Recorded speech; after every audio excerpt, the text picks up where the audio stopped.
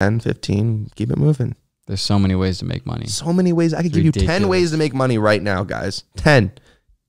I could give you 10. Let's hear your top three. My top three, I'll give you, I'll give you like, I'll, I'll just go on a rant. I don't know top. You can start a maid business right now, right? Okay. So you have a maid, $10 to clean your house, Scott's house. Okay. I'm going to now charge Scott $15.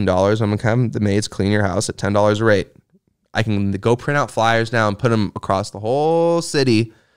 I have nothing to, these are just maids that charge $10 an hour. But now I'm charging 15 and if you call my number, it's going to be 15 an hour and then when they go clean your house for 150 bucks, I'm now going to make 50 bucks and pay them 100. That's my maid business. Scott and Luca's maid business. Second one, uh, obviously drop shipping. Uh, you could do what he's doing. Uh, he does many things. Is one of his like he's a multifaceted Swiss Army knife over there. But one of the things he he does is you know flipping cars, flip cars. Um, you can do the you know get back to the basics. My first thing was flipping Supreme, flipping shoes. Like that's an easy one if you're not making money. Uh, you can start Instagram accounts. Uh, you know those some of those meme page guys make some good money. You know what I mean? Dude, you'd be surprised. Um, obviously, you know, I mean, we can go, dude. I can go days for days. It's just the art of the middleman. Like, Yeah. think about how you can embed yourself from like one facet to the other and just weasel your way in there. Well, that first concept you're talking about, drop servicing, that's like very undervalued. Not a lot of people take advantage of drop under- servicing. dude. Super undervalued. You can literally do that with like raking leaves or mowing lawns. All right, this guy Jonathan charges twenty dollars a mow your lawn. Charging you fifty, Bucko. It's about lead acquisition, getting the customer, and then like you do the rest from there.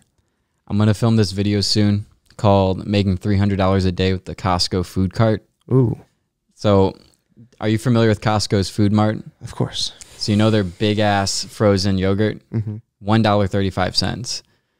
I've always had this thought, and I'm gonna film this on Venice Beach. It's it's technically a little illegal because you need the um, the food license or whatever. But I'm gonna buy a hundred of those, put them in like a cool down thing, and then buy like a big thing of like candy, like little packs of candy. So I wrap each one. Total cost is probably a dollar fifty each, mm-hmm. if it maybe a little bit more. So now they have the frozen yogurt and then the mix in too, the candy, the M and they can choose the M and M's, the Reese's Pieces, mm-hmm. but you sell them for five dollars. Five dollars on Venice Beach, so cheap. So cheap. But you're making over three dollars on each one. You sell a hundred, which is so you can do that in an hour. All You already made three hundred bucks. Dude, I can't wait to see that video. I'll tell you another finesse I did when I was younger. When I was 14, 15, my mom used to go to Whole Foods. Uh, she was like, she was really not wise with her money, but like she like really wanted us to eat well. Like that was one of her things. I don't know if it's like a cultural European thing, but like something about food is like you like we can be living in like the gutter, but like we have to like eat like decently. You know what I mean? Right. Like we, like that was just with her. That was her thing. Like if we're gonna spend money anywhere, it's gonna be on food. Uh, I mean that's great for me, but she used to come back, bring the receipts, and I used to take the Whole Foods bag. And this was like, you gotta understand, like I was skateboarding when I was growing up, so like we were like really like making like pinching pennies, bro. I used to take everything on the receipt into the bag, and I only did this in dire moments because it made me feel really sus, but it hit every time.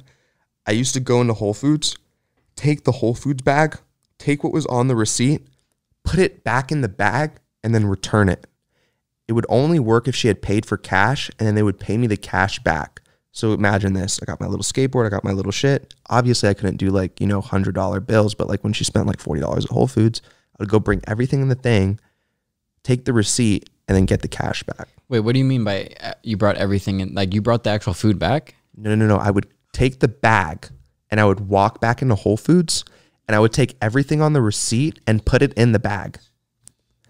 And so I would put all the goods back into the Whole Foods bag and I would take the receipt. Damn, Dude, this is hustle, yo. that is crazy, Bro, I was not expecting that. hey, I'm telling you, bro. Y'all not hit, bro.